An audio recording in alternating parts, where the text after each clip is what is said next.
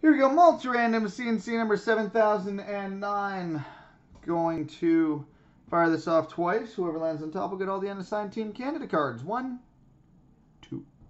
Nico the Greco. So there we go, boys.